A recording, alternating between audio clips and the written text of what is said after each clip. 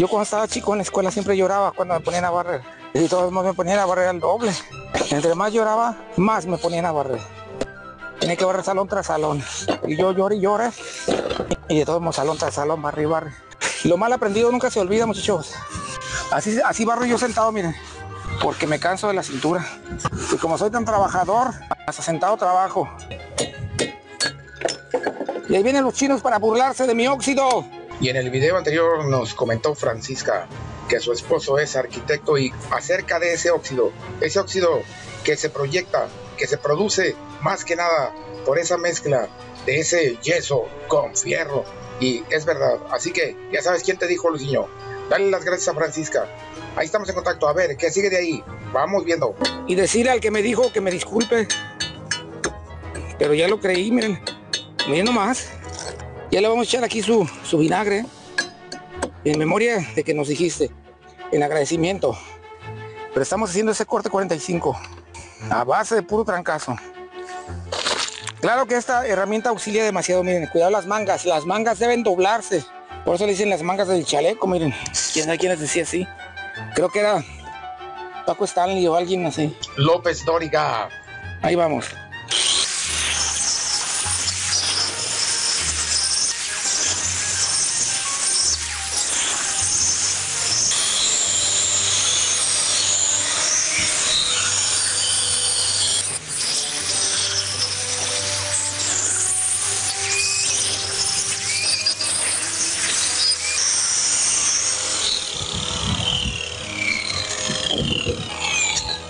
Vamos a seguirle aquí, miren.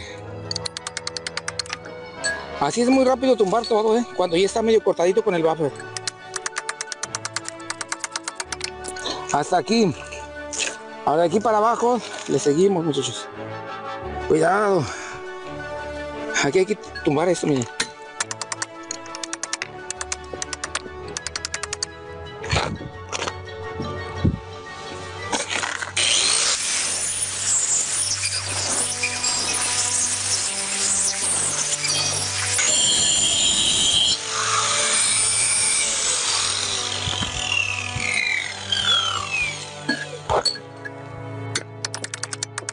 Vez emparejamos hasta acá, miren. Para que aquí llegue el cemento todo esto. Primeramente Dios. Bueno, a ver.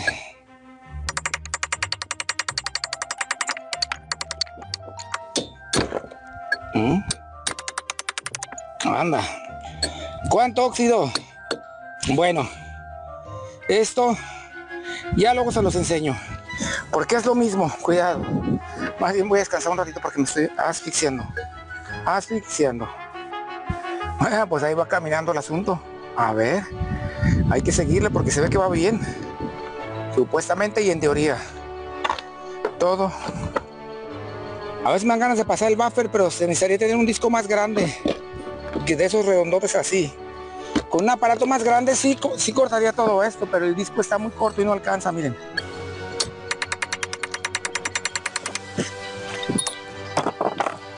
Y aquí estamos viendo el óxido, ¿eh? Seguimos viendo que es muy cierto el óxido. Aquí se está viendo todo, claramente. Tienen que verlo. Tienen que hacer caso, como yo no hice. Cuidado. Pero acuérdense lo que dice el dicho. Unos echan a perder para que otros aprendan. Y ese soy yo. Los que echan a perder. Miren, aquí se ve. Por eso quise, miren, que vean el yeso. Oxidado.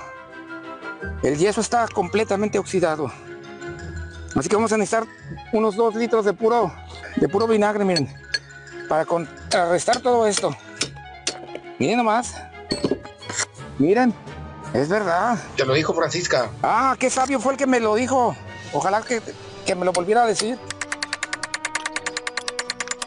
Alguien lo dijo. El yeso y el agua producen óxido en las varillas. Y aquí está la prueba de que es verdad. Es verdad, aquí está todo el óxido. Toneladas de óxido. No hay que negarlo. Esta es una gran verdad. Así que hay que aprenderlo. En cabeza propia no. Mejor apréndanlo conmigo para que no les vaya a pasar. Aquí está un pedazote, miren. De puro yeso. Y si hubiera pasado más tiempo, y no les tapamos esto, la, la varilla se pudo haber roto en unos cinco años. Ahorita todavía no. Apenas habían pasado algunos meses. Afortunadamente, gracias a Dios. Bueno. Así que no los recomiendo que hagan nada con yeso cuando está la varilla. No se los recomiendo.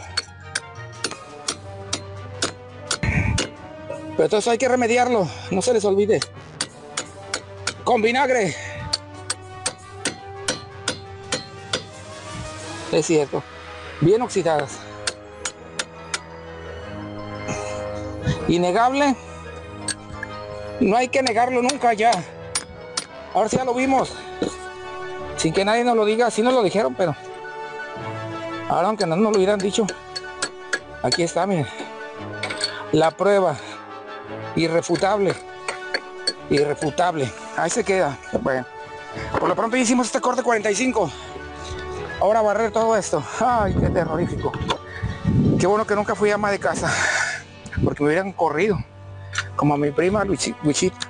Yo tengo una prima que se llama Huicha, Luisa como yo. Se llamaba Luisa. No la quisieron porque era igual que yo. No les gustaba hacer la limpieza. Y a veces viene a visitarme. Ay, ya cállate Luisinho, ya te voy quedando hablando de mí. Ay, prima. ¿A poco viniste a visitarme, prima? Sí, Luisinho, a veces vengo para ver nomás si estás hablando de mí o no.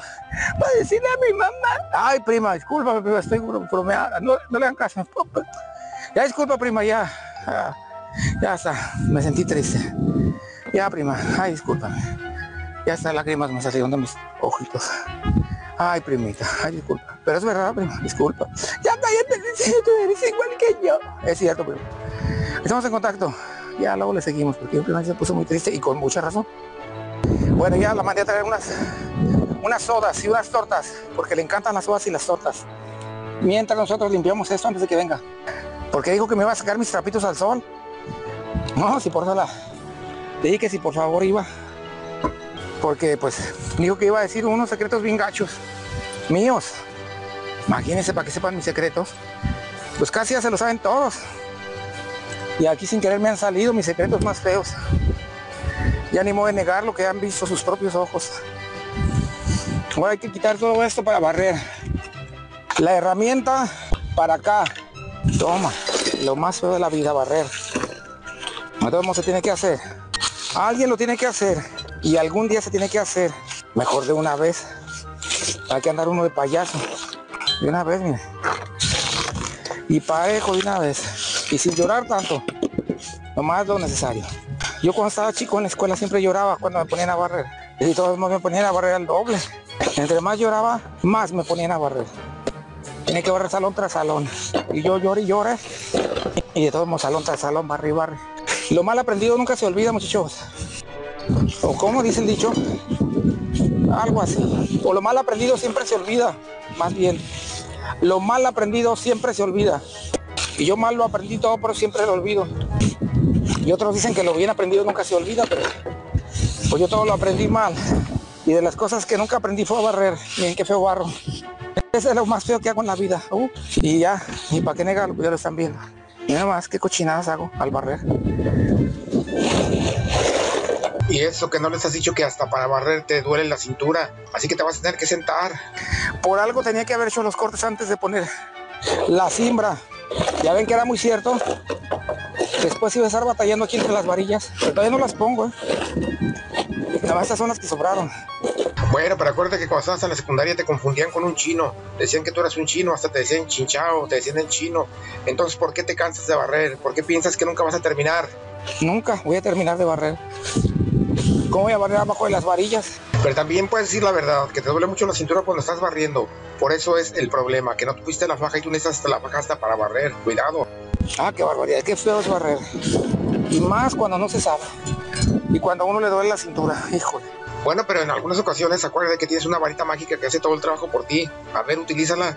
3, 2, 1, 0 y ya está todo barrido. A ver si es cierto. Escobita mágica, ven a barrer todo. Es. No, hombre, barre tú. Todo. Ay, me falló. Ahora no quiso barrer. Uh. Mejor concéntrate. Piensa que eres un buen barrendero y que todo lo haces bien, con mucha energía, y verás que ni siquiera te va a doler la cintura. Y si te duele, pues ahí te sientas. A ver, inténtalo. Ah, caray. Bueno, ya ves, este es un experimento que acabas de hacer. Pensando que eres un buen barrendero, barres muy bien. Pero si piensas que eres muy mal barrendero, barres muy mal. Y si crees que barres muy mal y te duele la cintura, está bien, te va a doler. Pero bueno, no te queda otra más que, en cuanto sientas que te duele la cintura, mejor barre sentado. Hay muchos que barren sentados y no se quejan. A ver, cálale. Si te duele, no te preocupes. Te sientas y así barre sentadito. Pero que lo hagas bien. Vamos a ver. Mira nomás, maestro querido. Nunca aprendí ni a barrer. Es más, ya me está doliendo la cintura. Ahora me tengo que sentar a barrer. A ver, danos un tutorial de cómo se puede barrer sentado. Siéntate y barre. Pero explícanos muy bien si te duele o no te duele y cómo se barre sentado. Así, así barro yo sentado, miren. Porque me canso de la cintura. ¿Y qué? Es que así es, muchachos. Tanto es lo que trabajo yo que, que me canso tanto de la cintura que, como soy tan trabajador, hasta sentado trabajo. ¿Quién se rió de eso? Ah, qué mentiras. Hay unos chinos para reírse también, si no crean. Si los chinos nomás buscan encontrarme en mis mentirotas, para reírse de mí, para decir, no se crean, no se crean. Él no es tan trabajador como dice. La verdad, los albañiles tienen que tener una cintura muy buena, ¿eh? Porque si un albañil se cansa de la cintura, entonces no va a rendir casi nada. O se va a aguantar, o pues, o yo no sé cómo le irá a hacer. Híjole, mira, hasta alambre salieron aquí. Estos sirven, ¿eh? Ya echaste ese escombro dentro de esa cadena. Ahora, ¿cómo lo vas a sacar? Mira, aquí se atoró todo en medio de las cadenas. Ah, no debería haber hecho esto. Mejor los hubiera sacado en lugar de haber hecho esta burra. No les digo que todo lo hago mal yo. Pero nunca había dicho que Juan Gabriel te compuso una canción exclusivamente para ti. Todo lo hago muy mal yo. Ser muy tonto es mi virtud. Esa me la compuso Juan Gabriel, pero al revés. ¿Para qué te preocupas? Hubo grandes genios torpes. Cantinflas, Mr. Bean, El Chavo del Ocho, Chespirito, Chapulín Colorado, Viruta y Capulina. Bueno, y tantos y tantos otros que pasaron. El gordo y el flaco, tú ya sabes. ¿Por qué te agüitas? Ya va para atrás. Lo que tanto trabajo me costó barrer. Ahora lo estoy barriendo, pero desbarriendo. Lo estoy desbarriendo. ¿Cómo es esto? ¿Habían visto a alguien que desbarra lo que ya barrió? Y con los dedos, porque aquí la escoba no entra. Ah. Ay, ay, ay. Solamente a alguien le puede pasar eso. Y no a Cantinflas, a él nunca le pasó. Al Chespirito, al Chapulín Colorado tampoco. A Mr. Bean puede ser que sí. Él era un poquillo, un poquitillo más torpe. Supuestamente, pero nomás era puro fingimiento porque en realidad era un genio. Yo lo he visto. En realidad no es torpe, es genio. Y yo soy torpe. Eh, pero ya. Hablando y hablando. Listo. Ahora ya nomás con una manguería de aquí. No llega la manguera. Un bote de agua lo aviento y limpia todo esto. El agua limpia todo esto, miren. Eso sí se los puedo decir. Ya lo he comprobado. Bueno. Ahí está, miren muchachos. Me bastaron ocho horas para hacer un trabajo de una hora. Ahora vamos con lo de acá. Aquí van a ser otras 500 horas. Mejor eso ya lo vemos mañana, primeramente Dios, porque estoy bien cansado. Ahora sí me cansé. Y todavía falta aquí un pedacito de, la siembra de acá, de acá atrás. ¿Cómo? ¿No que estaba terminada? Sí, la de arriba, pero falta un voladito. Miren, falta ese volado. Ahí está medio tapado. Ah, es un voladito. A ver, ¿de qué tamaño es ese famoso volado? Ya ni les quiero enseñar por qué. Al enseñarles yo soy el que me asusto. Aquí nadie se asusta más que yo. Miren nomás el voladísimo. Aquí está este volado. De medio metro, por lo menos, miren todo esto. Hay que meterle esta cimbra. No, así está bien, no estaba terminado todo. Era pura falacia. Ustedes que me andan creyendo. Me faltan como seis meses para colar esto. Cuidado con los seis meses. Ay, muchachos, no se me asusten. No se crean, muchachos. Vamos a echarle ganas al asunto. Pues le estamos echando ganas. Lástima que la mente es la que no funciona ya. Ni nunca ha funcionado, y menos ahora con la edad y con los males del Alzheimer y de la demencia senil y todas las cosas que ya me están atacando. ¿Cuándo? Ahí estamos en contacto. Ahí disculpen a la demencia senil. Ahí está mi instrumento favorito. La escoba. ¿Cómo que no? Que antes era el micrófono, ahora es la escoba. Cambié el micrófono por la escoba. Y no fue nada agradable. Ahí estamos en contacto. Ahí disculpen mi sinceridad. Bueno, acá esta parte, pues ya la barrimos. Pero mal barrida. Como todo lo que se hace en esta casa. Todo está mal hecho. Experto en nada fui. Ni en tocar la flauta, ya lo vieron. Bueno, miren, por lo pronto, en lugar de estar llorando, les voy a enseñar esto. Aquí de esta parte ya le había dejado el corte 45, ya preparado. Ahí se ve claramente. Aquí sí está prácticamente, pues, digamos, en una en un porcentaje bastante bueno. Como para no hacerle nada, vamos a caminar y vamos a ir viendo que esta parte está correcto. Todo esto hasta aquí va bien. Ahí sienta el colado, todo está bien. Está a la mitad prácticamente. Aquí es el único pedazo donde lo vamos a tener que cortar. Aquí y aquí. Estas dos partes. Porque acá se vuelve a meter. E inclusive aquí hay un alambrón que le pusimos. Para que de aquí se agarren las varillas. Todo esto quedó perfecto. Solamente estos dos globitos. Está muy sencillo. Estos globitos los vamos a tirar. Es como volcán, como lava de volcán. Que nos cuesta tomar esta lava de volcán. Está muy sencillo. Cuidado con la lava de volcán, no va a estar caliente. Entonces, esa lava de volcán es la que vamos a tirar ahorita. Nunca se acerquen donde hay lava de volcán, a menos que sea absolutamente necesario, como en este caso. En este caso sí es necesario, así que ahí voy. Cuidado muchachos. Cuidado con la lava de volcán. Bueno, pero al final de cuentas, los maestros albañiles tienen que entrarle a lo que sea, hasta la lava de volcán. Vámonos recio y sin llorar tanto, porque ya has llorado mucho. Bueno, y más te vale que le des la recia. Bueno, nada más no vas a dejar todo mal hecho, porque ahí viene ya la varilla y hay que subirla. Porque ya te has atrasado mucho y el vecino está disponible. Aquí está todos los días, llega y te toca y te dice, ¿qué pasó? No, que ya. Y tú ahí estás, que no, que la cintura, que la barrida. A ver, ya mero, dale duro. Ahora sí, ahí la llevas.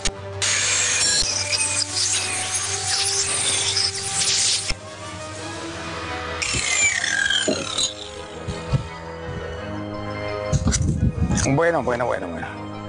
Ahí quedó bastante bien. Ahora están las rayitas. Y una vez nos pasamos hasta aquel lado para hacerle corte así y así. Que ya no sería tan importante, pero sí es simplemente para que embone. Y cuidado, no te le acerques un, un gato guardián muy bravo. Este es muy bravo. Cuidado, no te arrimes. Te lo advertí, vaca con el gato. Qué, ay, qué tan chistosa. ¿Cómo te usaste con el gato, niña? Ay, no.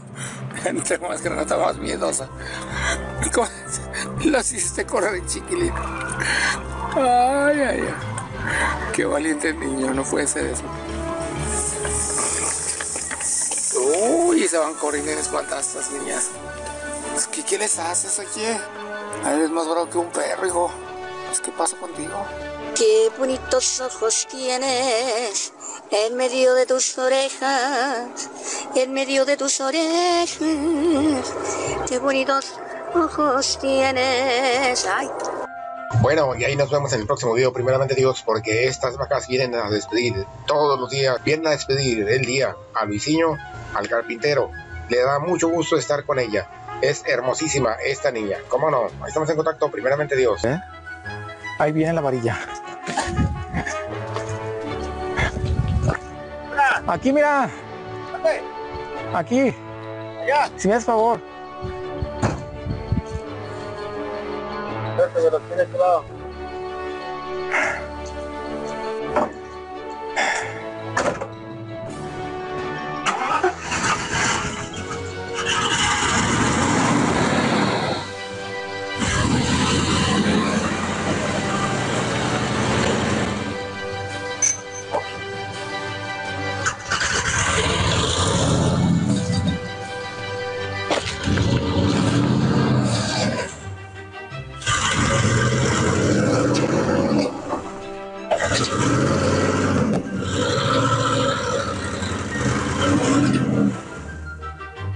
está bien.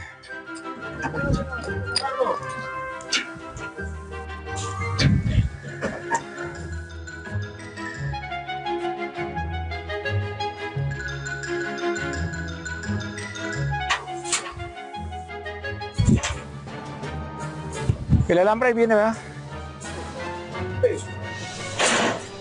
A ver, déjate ayudo.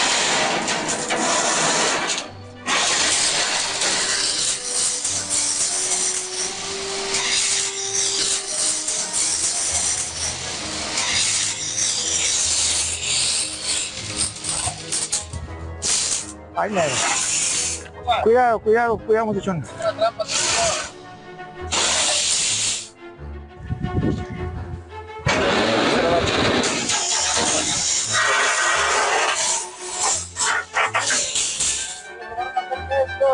Sí.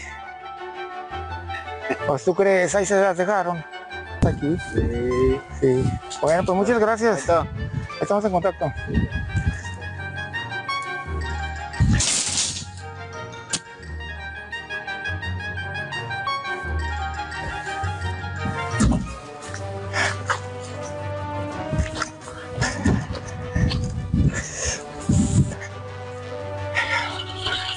Pues ahí está la varilla. Ahora sí, cuidado. Cuidado que se maneja recio. Cuidadito ahí. A puro rayar y luego cortar y doblar. Ay.